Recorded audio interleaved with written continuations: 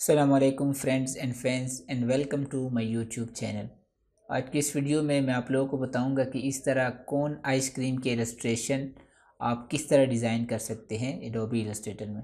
So let's get started सबसे पहले एक न्यू फ़ाइल हम क्रिएट कर लेते हैं और उसका साइज़ मैं रख रहा हूँ ten eighty by ten eighty यानी स्क्वायर साइज़ है और एक न्यू फ़ाइल जो है वो क्रिएट कर लेता हूँ। यहाँ से आ, मैं ये कलर तीन जो है कॉपी कर लेता हूँ क्योंकि ये कलर हमने यूज़ करने हैं तो हमें ज़रूरत पड़ेगी। ओके सो यहाँ पे हम अपना कलर थीम जो है वो रख लेते हैं। ओके सो हम स्टार्ट करते हैं। सबसे पहले नीचे वाला हिस्सा से स्टार्ट करेंगे। आ, सबसे पहले आप लोगों ने पॉलीगॉन लेना है और यहाँ से एक ट्रायंगल बनाना है। ओके ओके ट्रायंगल बना लिया और आई ड्रॉपर टूल से मैं यहाँ से कलर पिक कर लेता हूँ ये वाला। एंड नाउ यहाँ पे इसी की मैं एक कॉपी ले लेता हूँ कंट्रोल सी कंट्रोल एफ़ और उसका जो है मैं स्वाप कलर कर लेता हूँ। स्ट्रोक कलर हो जाएगा और स्ट्रोक कलर को मैं स्ट्रोक ऊपर कर रहा हूँ और ये कलर दे देता हूँ। और स्ट्रोक को थोड़ा सा बड़ा कर लेता हूँ। ओके ये हमारे पास स्ट्रोक आ गया इसका। अब इन दोनों को मैं I draw direct selection tool से ये एंकर पॉइंट सेलेक्ट करके इसका इस तरह ये कर्व बना लेता हूँ। ओके और उसके बाद हम एक रेक्टेंगल ले लेते हैं और यहाँ से एक रेक्टेंगल जो है वो ड्रॉ कर लेते हैं। और इसके अलाइन सेंटर अलाइन इसको करते हैं। ठीक है? और इसको कर्व कर लेते हैं इस तरह। ओके और इसी के अब मैं दोबारा कॉपी लूँगा। कंट्रोल सी कंट्रोल एफ़ और यहाँ से आई ड्रॉपर टूल से आई प्रेस करके आई ड्रॉपर टूल से ये जो है ना, मैंने एक एक्स्ट्रा ये ले लिया है। ठीक है? तो आसानी रहेगी काम करने में। ओके अब इसमें क्या करते हैं, इसी की एक कॉपी ले लेता हूँ आर्ट के साथ, यहाँ पे कर लेता हूँ। और इन दोनों को सिलेक्ट करके I drop sorry shape builder tool shift M से लेके यहाँ पे ये मैं ख़त्म कर लेता हूँ और इनको मैं प्लस प्लस कर लेता हूँ। यूनाइट कर लिया। अब इसका कलर जो है आई ड्रॉपर टूल से ये उठा लेता हूँ। और इसमें हमने पेन टूल यहाँ से लेना है। पी आप प्रेस करके ले सकते हो और यहाँ से एक जो है इस तरह एक स्ट्रिप बनाना है। और बाहर डोंट वरी ये बाहर वाला हम जो एरिया है, वो हम शेप बिल्डर टूल से जो है वो काट देंगे। ठीक है? और ये हमारे पास इस सेम कलर हम ये वाला देंगे। अब ये ऊपर है तो इसको हमने क्या करना है नीचे करना है ताकि ये इस ऑरेंज के ऊपर आए। और बाकियों के नीचे आए ठीक है? तो ये देखो नीचे आ गए ओके। उसके बाद आ, हम स्ट्रिप्स बनाएँगे जो हमारे पास यहाँ पे एक स्ट्रिप सी शेप बनी थी इस तरह हम बनाएँगे ठीक है? ये हमारे पास आ गया है। और इसको हम रोटेट कर लेते हैं। इसके साथ यहाँ से इसको यहाँ रख लेते हैं और इसी के मैं आर्ट के साथ एक कॉपी लेके यहाँ पे कर लेता हूँ कॉपी और डुप्लीकेट कंट्रोल डी से आप डुप्लिकेट कर सकते हो। अब इन तीनों को मैंने ग्रुप करना है सबसे पहले और कंट्रोल सी कंट्रोल एफ़ करके दोबारा यहाँ पे इसको मैंने रोटेट कर लिया नाइन्टी डिग्री पे। और इसको थोड़ा सा आप एडजस्ट करें, यहाँ पे कि कहाँ पे अच्छा लगेगा। ठीक है। ओके, यहाँ पे ठीक है। अब इन चारों को इस शेप के साथ सिलेक्ट करो, ठीक है? और शेप बिल्डर टूल मैं ले लेता हूँ और यहाँ से ये एरिया माइनस, ये एरिया माइनस और इस तरह ये मैंने माइनस किया और ये मैंने माइनस किया। और इनको आपने ग्रुप करने एक ग्रुप बनाना है, कंट्रोल जी और ट्रांसपेरेंसी पैनल में जाके आप मल्टीप्लाई करें इसको और ओपेसिटी जो है वो कम रखें, यानी अबाउट फिफ्टीन परसेंट तो इस तरह हमारे पास जो है एक शेप जो है वो बन गई है। ओके अब हम थोड़ा सा स्ट्रोक पे काम करते हैं। ये स्ट्रोक और ये स्ट्रोक को मैंने सिलेक्ट किया और इसका जो स्ट्रोक वेट है वो ज़्यादा कर लेता हूँ और यहाँ से इस स्ट्रोक को पहले मैं सिलेक्ट करके यहाँ से मैंने लेना है सीज़र टूल थोड़ी सी इसमें स्टाइलिंग हमने करनी है। यहाँ पे इसको काट लेता हूँ, काट देता हूँ। ठीक है? और इस, यहाँ से एक और यहाँ पे इसको कट कर रहा हूँ। ठीक है?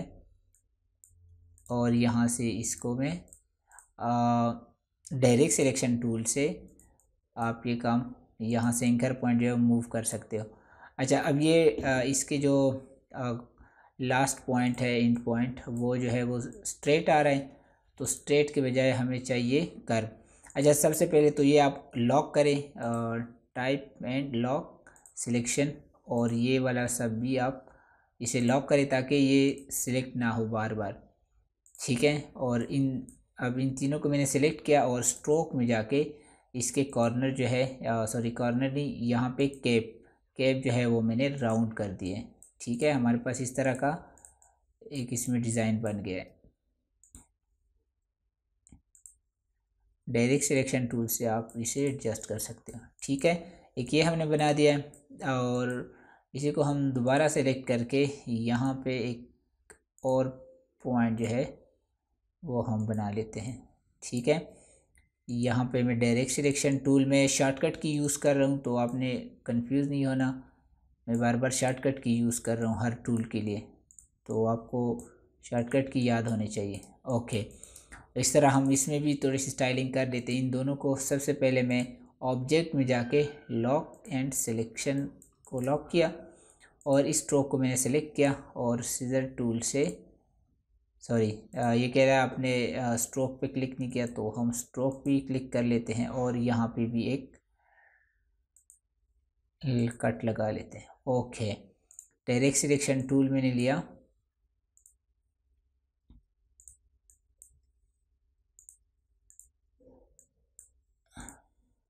और इसको इस तरह मैंने थोड़ा सा फासला इसमें बना दिया। अब सेम काम हम इसमें भी करेंगे और यहाँ पे इसको एडजस्ट कर लेते हैं सबसे पहले। ठीक है?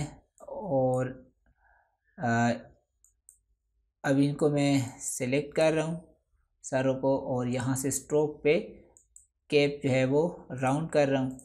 तो इसको दोबारा मज़ीद थोड़ा सा इसको मैं छोटा कर लेता हूँ।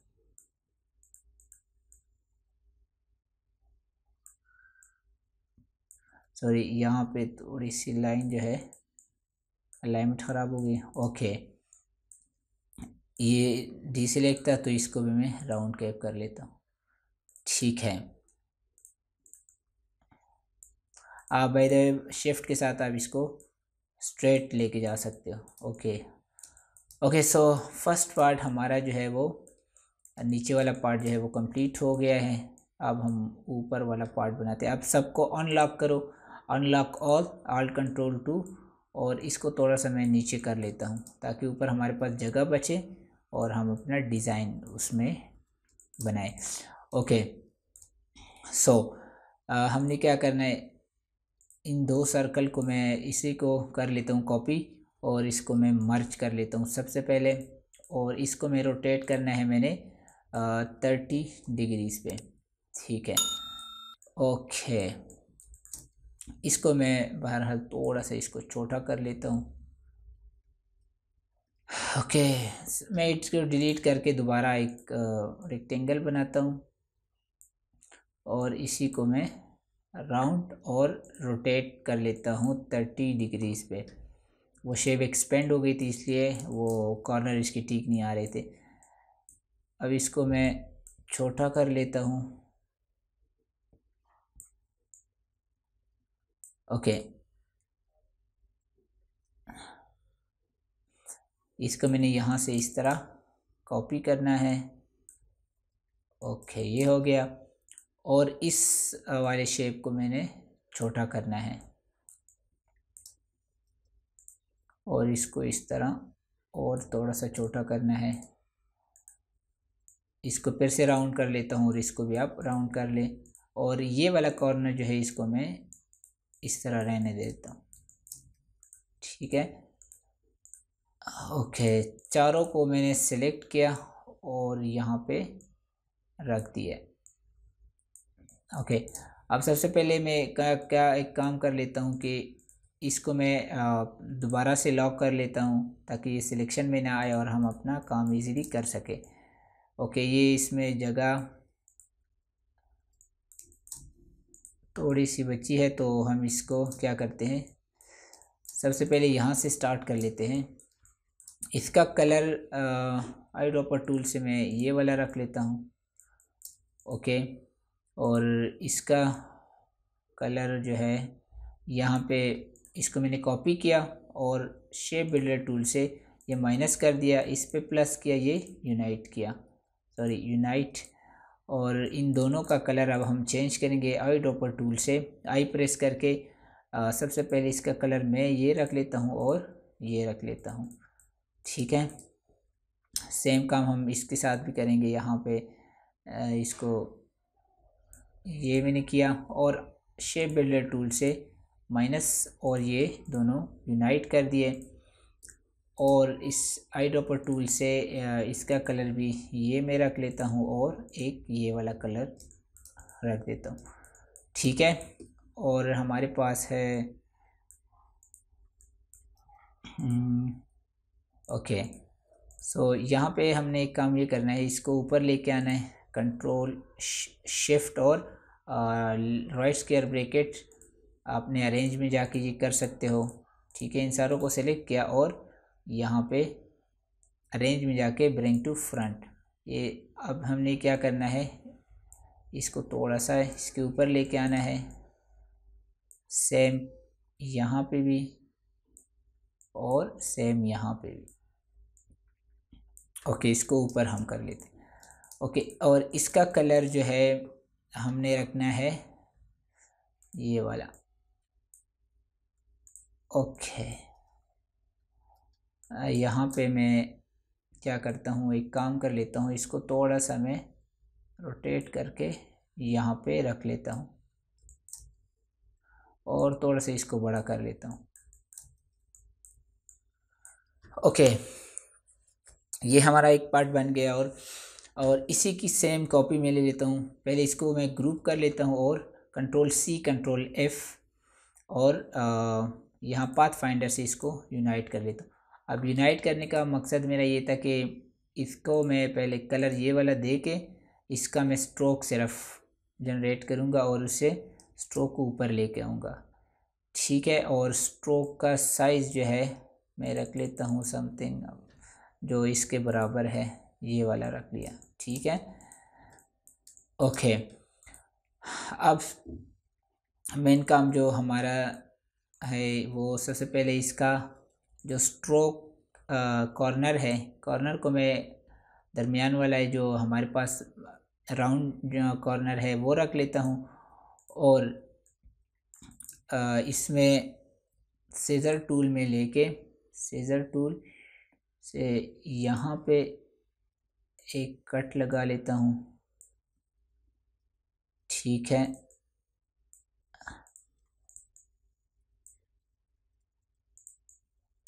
ओके।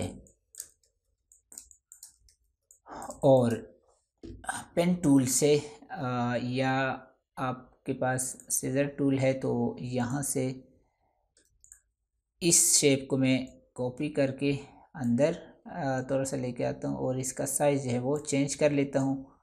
इस तरह हमारे पास ये आ जाएगा और इसका कलर जो है वो मैंने वाइट रखना है। ठीक है, हमारे पास इसको थोड़ा सा हम एडजस्ट कर लेते हैं। इस वाले एंकर पॉइंट को मैं डिलीट कर लेता हूँ। डिलीट और यहाँ पे इसको मैं एडजस्ट कर लेता हूँ। ओके, सेम इसको मैं थोड़ा सा कॉपी करके, ओके, सॉरी, यहाँ पे इसको एडजस्ट कर लेता हूँ। ठीक है। और इसका कलर जो है वो वो भी वाइट कर लेता हूँ। ओके ये हमारे पास एक बन गया और इसी को मैं कॉपी करूँगा और यहाँ से इसको थोड़ा सा छोटा कर लेता हूँ। और इसको ये डॉट जो है ये, यहाँ पे लेकर आता हूँ। ठीक हो गया। इन दोनों को मैं सिलेक्ट करके इसकी थोड़ी सी एडजस्टमेंट कर लेता हूँ। ओके और तीसरा काम ये, इसको मैं इस तरह रख लेता हूँ। ओके। इसकी भी थोड़ी सी एडजस्टमेंट कर लेते हैं। ठीक है? ओके, ये हो गया। है अब, यहाँ से इसको मैं सारों को सिलेक्ट करके arrange and send to back ताकि इसके बैक पे चला जाए और इस तरह इसको थोड़ा सा मैं नीचे कर लेता हूँ। ओके तो हमारे डिज़ाइन जो है वो ऑलमोस्ट कंप्लीट हो चुका है बस। छोटी मोटी सी एडजस्टमेंट हमने करनी है। ओके सो so, जो डिज़ाइन है वो ऑलमोस्ट कंप्लीट ओके सो इसको मैं जो मैंने लॉक किया था उसको अनलॉक करके लेता हूँ और इन सारों को मैं एक ग्रुप बना लेता हूँ। ठीक है? ग्रुप बना के इसको मैं सेंटर में कर लेता हूँ। ओके तो ये आप देख सकते हैं कि हमने एक जो है फ्लेट इलस्ट्रेशन बनाई है कौन आइसक्रीम की। तो इस तरह आपको प्रोसीजर सारा कुछ समझ आ गया तो इस तरह आप इससे आइडिया एक ले सकते हो और अपनी जो है कोई भी इलस्ट्रेशन जो है बना सकते हो। सो आई होप कि ये वीडियो जो है आपके लिए इंस्पिरेशनल रही होगी। और ये वीडियो अगर पसंद आई है तो इसे लाइक करना ना भूलिएगा, अपने दोस्तों के साथ शेयर करें। और अगर चैनल को सब्सक्राइब नहीं किया अभी तक तो सब्सक्राइब करें और साथ वाले बिल पर क्लिक करें ताकि जब भी कोई नई वीडियो आए, उसके अपडेट जो है वो आपको मिलती रहे। सो हम मिलेंगे इन अगली वीडियो में। थैंक्स फॉर वॉचिंग अल्लाह हाफिज़।